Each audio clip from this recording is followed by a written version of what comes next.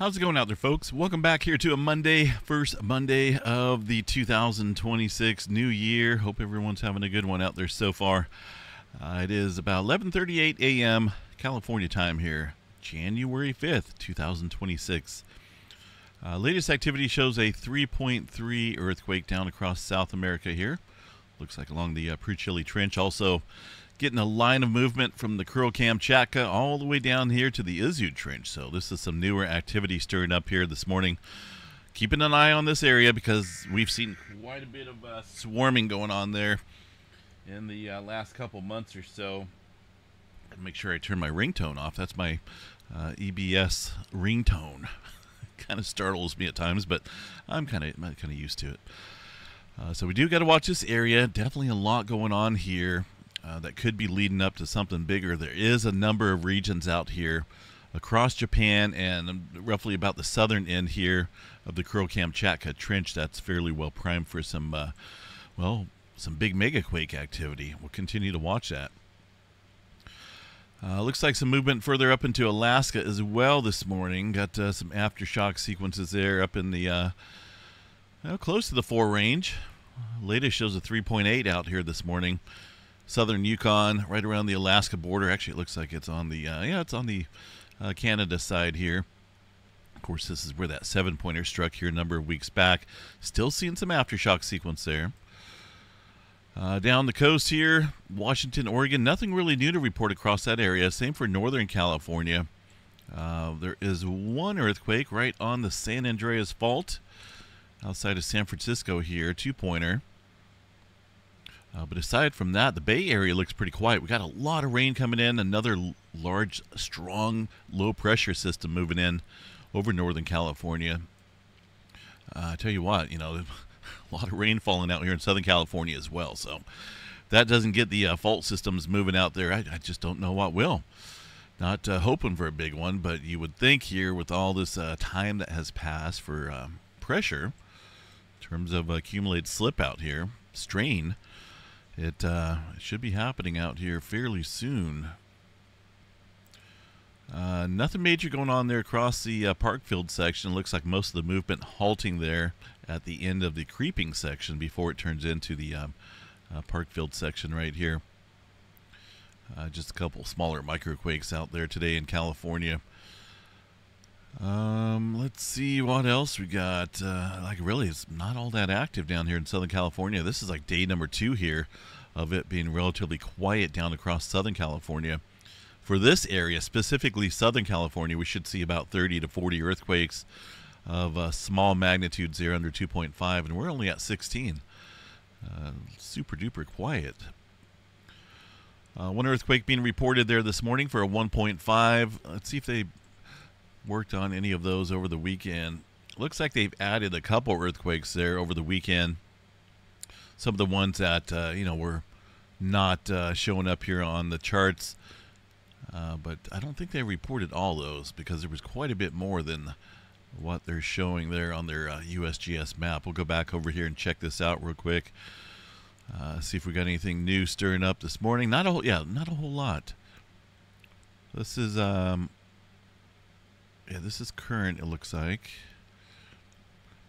A little earthquake there last or late afternoon yesterday. There's a 1.5 further down south here, about two o'clock in the morning. So we'd have to check this. Um, maybe this graph right here may have picked it up. About 2:20 in the morning, or yeah, 2:20 would be 3:20 here, uh, Mountain Time and that's going to be that little 1.5 right there. But as you can see, there's not a whole lot going on there for now.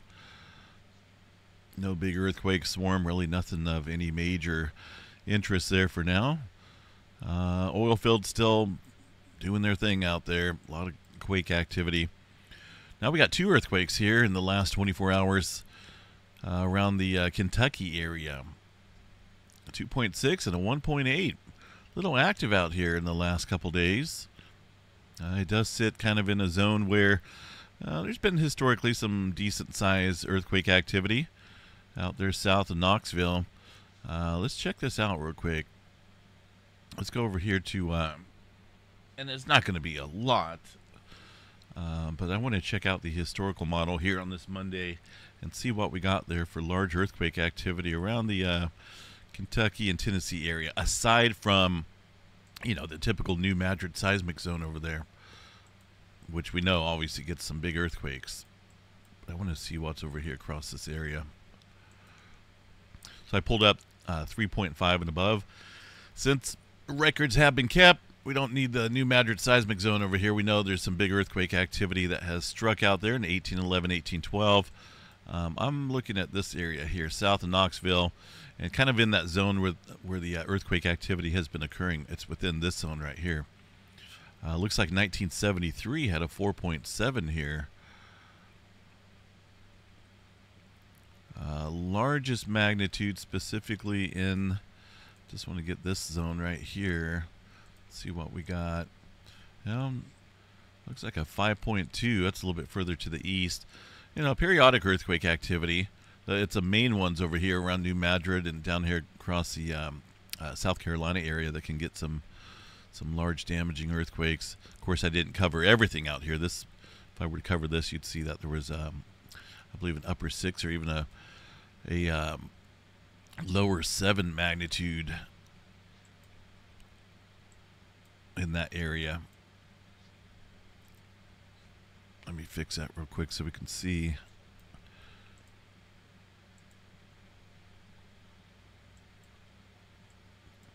Yeah, there's been some big earthquake activity down here. Uh, obviously, some earthquake activity up there around Knoxville in the Kentucky area and Tennessee, but down here, man, look at this seven pointer back in 1886. Yeah, that's a big one, man. That's uh, definitely a big earthquake. Most recent one down here that's above 3.5 looks to be back in 2008 at 3.6. So, one of these days, you know, a big one could hit back out here again. Um, the reoccurrence intervals here are a little tough to uh, figure out when it comes to this area because it's not like the uh, you know the west coast out here where we have always got pressure building up. This is a lot different out here as far as these uh, intraplate fault systems, but history shows us that we can get some big earthquakes out here east of the Rockies. All right, uh, let's see what else we got. We'll check out the earthquake 3D globe here real quick. Um, I don't see anything major going on. Still some af- uh, aftershock activity there in the uh, Mexico area from that 6.5 a couple days ago. Nothing really new to report across South America. Yes, there's a handful of earthquakes, but really nothing of any uh, major uptick. This is pretty much common on any given day. Uh, one earthquake north here in Iceland. A little little activity over here across the Mediterranean today. Looks like the largest there, 4.1. Uh, USGS not really reporting that. Uh, looks like it could be. Uh, looks like around the Egypt area, maybe. No, further. That's further down over here. So, um, possibly along this plate boundary here. It looks like. Anyway, nothing big. Just uh, some smaller quake activity looking to see where all the newer movement happening at right now, and it's definitely uh, starting to notice this filling in here across the western side of the Pacific plate and the adjacent uh, Filipino plate here. This this one here showing quite a bit of activity there through the Philippines right now, including a 4.1 coming in. Uh, that earthquake just coming in in the last 15 minutes or so. Some newer, renewed, deep activity across the Tonga Trench. So if you look, you got a lot of north, center, and southern portion here of activity. Uh, so this could fill in across this area with some larger movement today. This area has been a little quiet across the Solomon Islands eastward to about Fiji. Let's see when our last earthquake was out there. A decent size. Uh, not a whole lot here in the last week. It looks like Port Vila northward to about the Solomon Sea there should be filling in. This is kind of a quiet zone, the seismic gap zone that I like to look for um, in terms of maybe spotting out some areas of interest. A little quiet there, so that could fill in. Either way, you know, decent size uptick uh, happening right now across this area of the planet. Pretty quiet out across the east, but uh, we'll continue to watch that for as the eastern Pacific goes. Uh, and Hawaii out here, let's see what we got. We do have some movement stretching out towards the Loihi Seamount. Nothing big. I was just looking at their website here, and everything is still down. You know, I heard they're getting some snow out there, but uh, I don't know if they're getting any snow at Kilauea Volcano. I mean, up around Mauna Loa, yes, but their data is still offline there from the 30th of December, so we're you know six days now, almost seven days in terms of no current data in terms of the inflation charts. Also, let's see the seismograph stations here. See if these guys are working. Now these are still offline as well from the um, UTC time of the 31st. So hopefully they get that up and running. Uh, I mean, the only thing we have here is, is their word and also webcam imagery up here. Uh, looks a little cloudy out there right now. Number of different uh, cameras here. Looks a little hot up there at the uh, crater area. Man, I wish I could. Uh, I wish we had the inflation data out there. Looks rather cold. There's a lot of steam condensation going on there.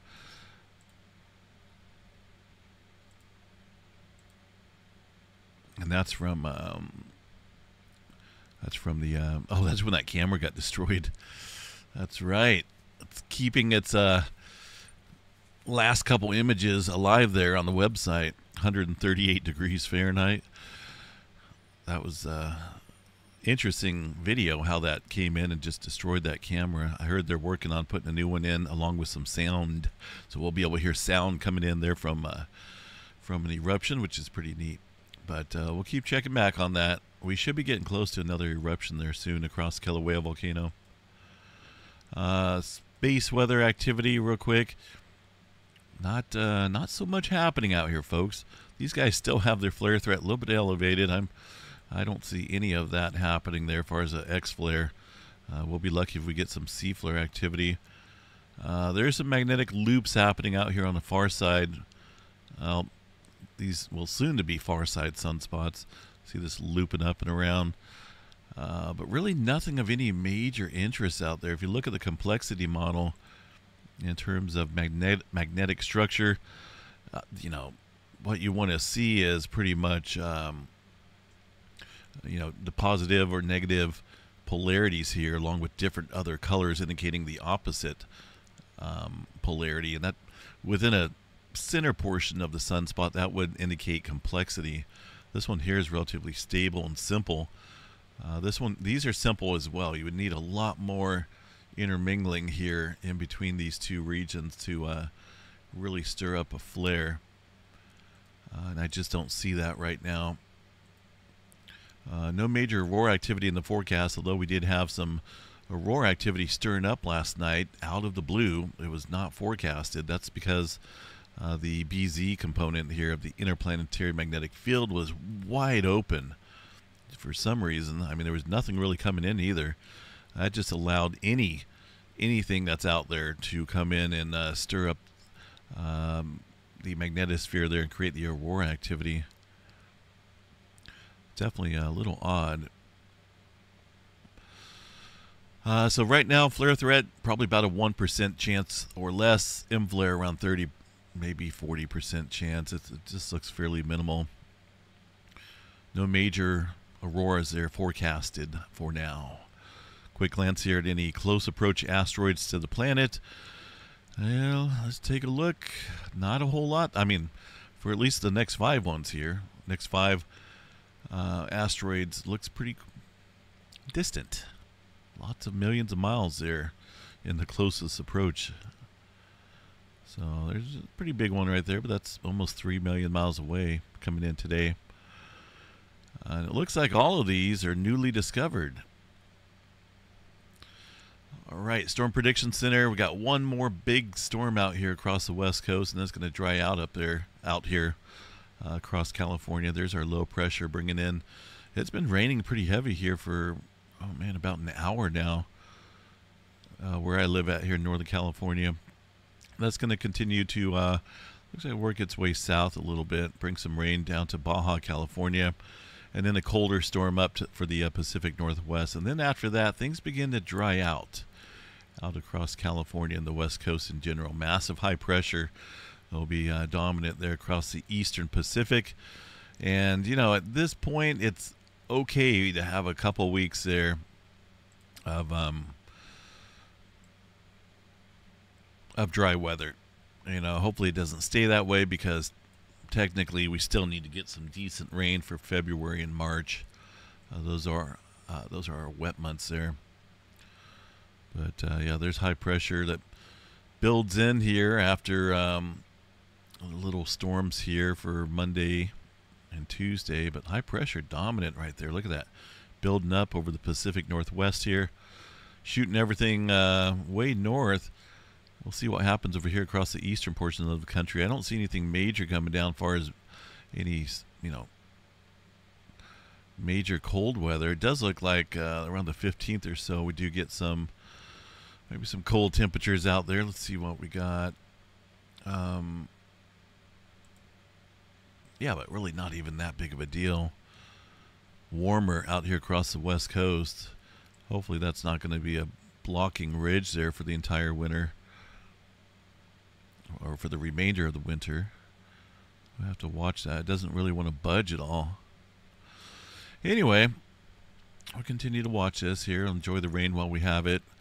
Um, you know, it's yes, it does cause a little flooding when we get it all at once, but uh, at the same time, um, you know, we need more than just a few inches of rain for the winter. This is not the desert out here in Northern California. I mean,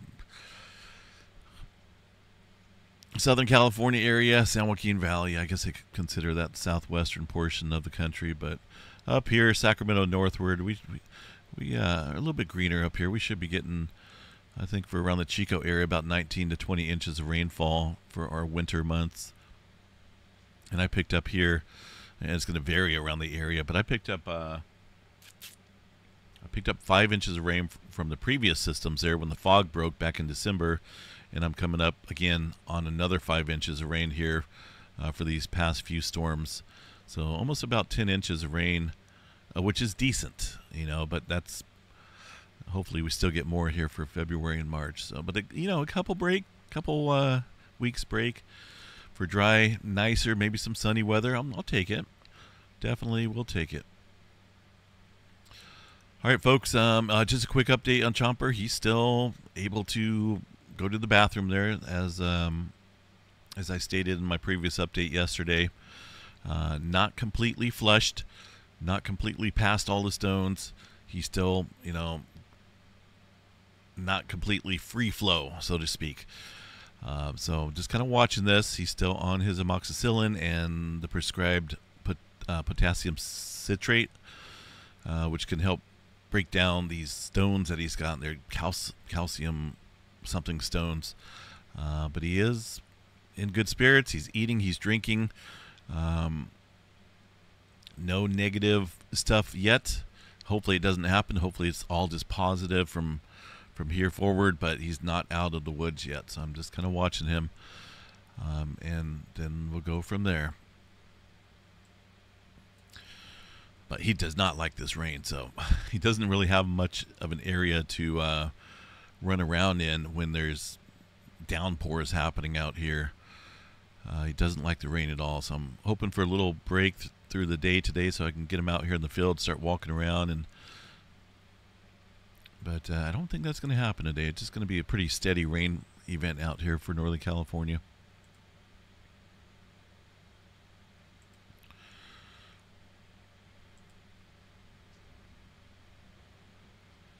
Looks like some snow up there above Chico into the mountains around Chester and whatnot. There's a heavy band of rain coming in. So, anyway, have a good one, folks. We'll see you guys out here a little bit later for the uh, Monday night update. Have a good one. Uh, we'll talk to you guys soon.